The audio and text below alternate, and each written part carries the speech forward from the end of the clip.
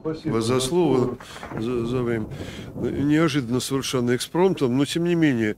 Значит, э, чем цена конференции сегодня, этот съезд, она ценна, поскольку мы обращаемся не только вот кто здесь сидит в зале, но мы обращаемся к большой аудитории, которая нас смотрит по стране и которая будет смотреть в роликах.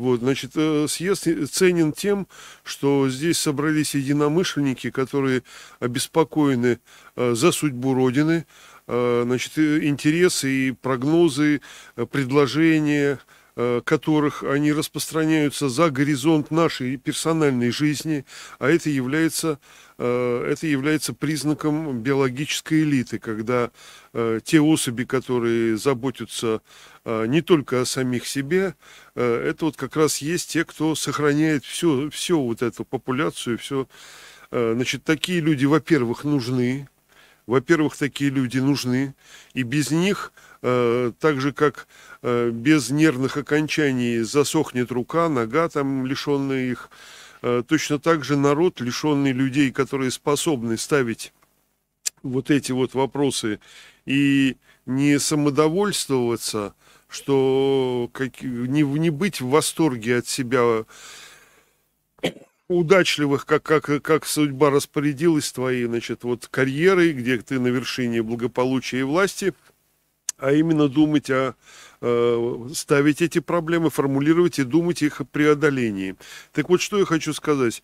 Э, да, действительно, сейчас наша страна, мы все, общество, народ, мы все стоим на вот этом вот э, пере, переформатировании всего социально-экономического пространства, это так это произойдет в исторически краткие мгновения. Можно сказать, что через три, через четыре года уже э, все, что мы сейчас видим вокруг, оно будет все другим.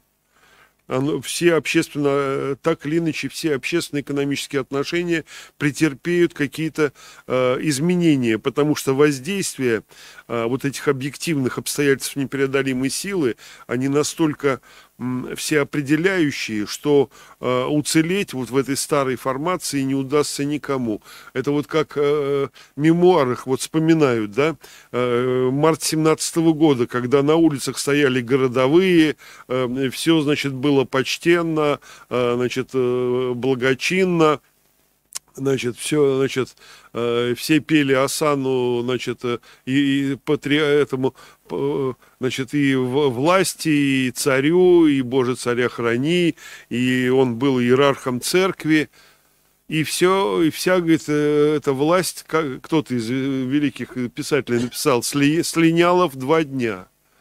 Просто в одну ночь не стало этих городовых на улице, они куда-то делись вот. Потом эти самые э, иерархи церкви вынесли тот самый, э, с хохотом вынесли тот самое кресло, где должен был сидеть э, патри, э, значит, э, руководитель этой церкви.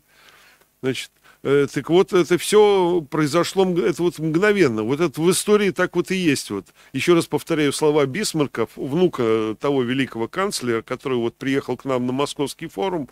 В этом году он выступал. Так вот, он сказал, что кризис, который мы ждем, наступает э, значительно позже, чем мы его ждем, но развивается значительно быстрее. Так вот, что ценного в нашем собрании вот здесь вот э, обеспокоенных людей, э, ценного для всех, э, для всего нашего народа?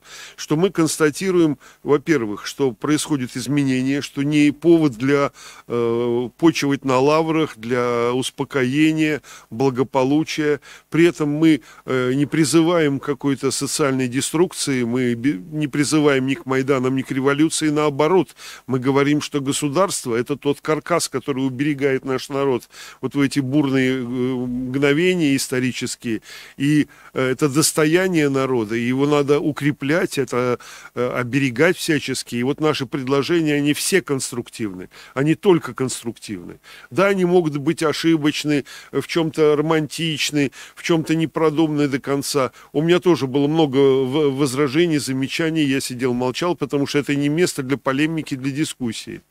Вот, так вот, э, я хочу сказать только одно еще, э, достаточно важное. что вот в этом новом будущем, куда мы все со всей неизбежностью, где мы окажемся через 3-4 года, 5 лет максимум, я думаю, что 3 года и даже э, все начнется гораздо раньше, вот эта вся трансформация. Так вот, э, вот в этом будущем роль народа, роль людей будет другая. Вы понимаете, дело в том, что э, сейчас э, вот ответом, народным ответом э, на выборы, да, вот когда низкая явка населения на выбор, я, я не беру, э, значит, вот последние обстоятельства, когда э, были выборы президента, мы выбирали национального лидера в условиях цивилизационного противостояния с миром Запада. Тут, тут, было, а тут ответ народа был однозначен по явке. Это была высочайшая явка и высочайшая поддержка. Вот, я говорю о тех выборах, которые вот э, касаются выборы партийные, выборы муниципальные, там, где народ отчужден от э, самого э, будущего своего. Человек отчужден, потому что за него уже все решили. Там, не, там нету, там выборы нет э, э, различия между, там фактически только выбирают по фотографиям либо по лидерам этих самых партий. Кого они в список свой партийный внесли, от какой области, никто знать не знает. Вот сейчас в Госдуме сидят люди, которых персонально никто не выбирал, их выбирали по партийным спискам. И мы то и дело видим какие-то скандалы по поводу денег э, за внесение в такие списки. Э, в открытой печати, даже и в судебных разбирательствах.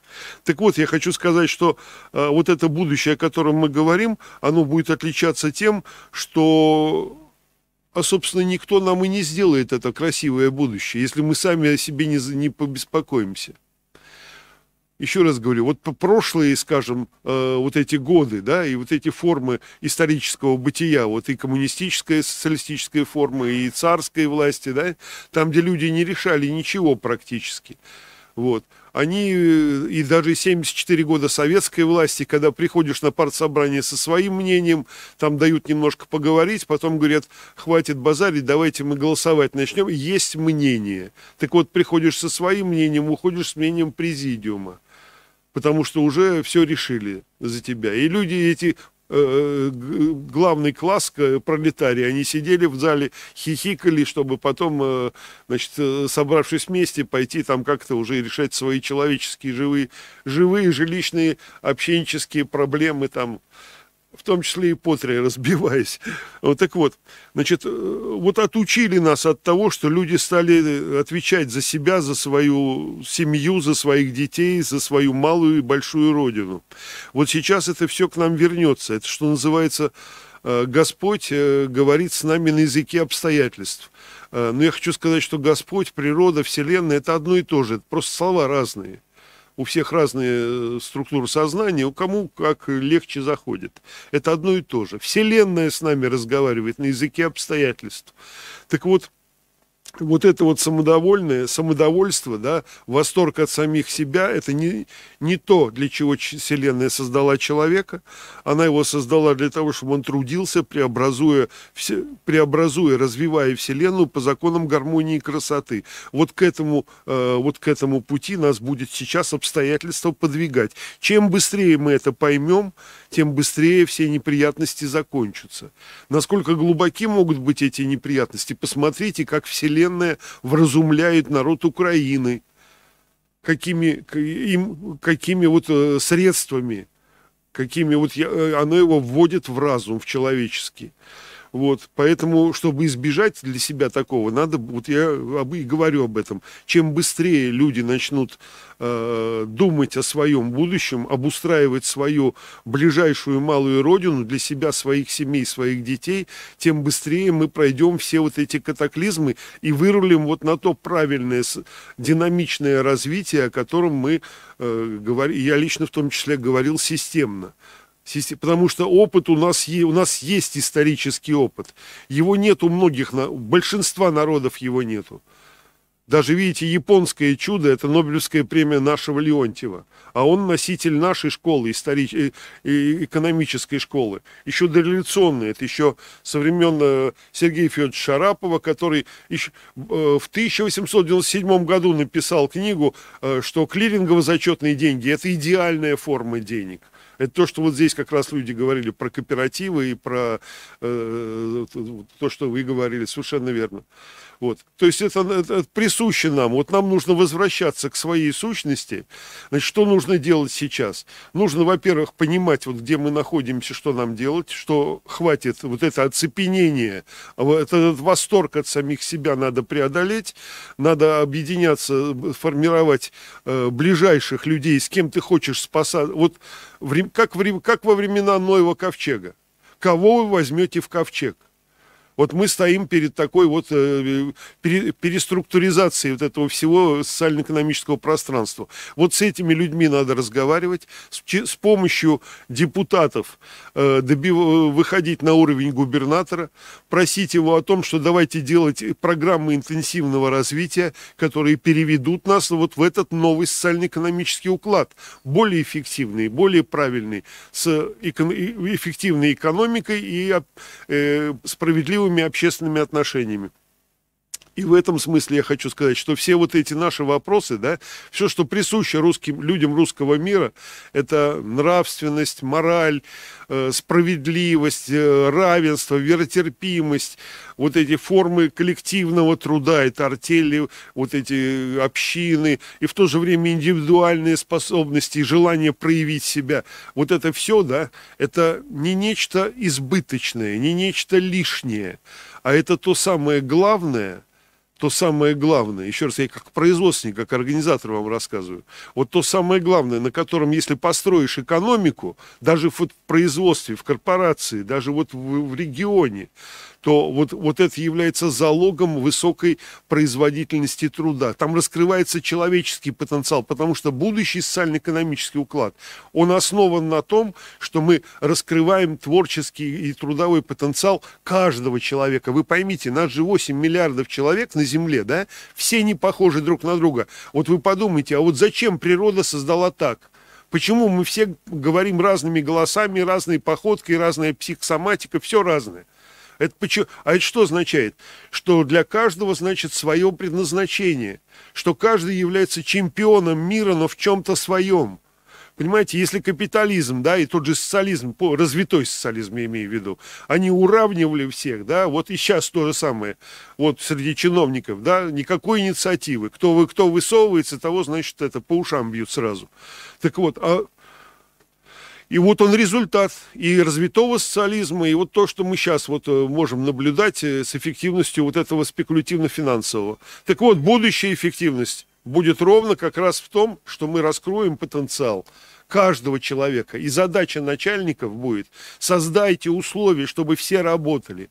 Это вот единственная встреча была у Мао Цзэдуна с Сталиным. Он приехал на бронированном поезде в Москву, три дня ждал встречи со Сталиным, потом он к нему пришел, задал всего один вопрос. Что такое коммунизм? Сталин подумал, подумал и сказал, это когда все работают. Вот наша задача вот в этом новом укладе создать такие условия, чтобы все работали максимально эффективно, раскрывая свой потенциал трудовой. Вот, поэтому смысл нашего пятого съезда я вижу в том, чтобы выход есть, сказать людям, что пора просыпаться, брать на себя ответственность. Механизм, что, что делать, понятен, мы раскрываем его. Вот как, как это сейчас, без Майданов, без революций, укрепляя нашу власть, наше государство, вот как нам переходить вот в это будущее. Вот для этого мы и собираемся. Спасибо.